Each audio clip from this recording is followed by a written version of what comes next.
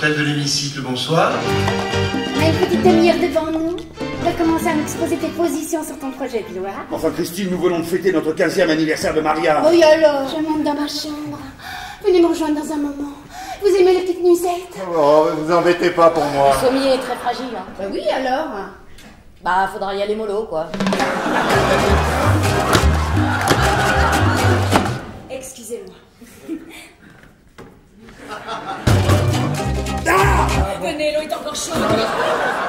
S'il m'arrive quelque chose, l'adresse de mes parents est dans mon portefeuille. Ah, vous avez l'air de bien vous amuser tous. Hein.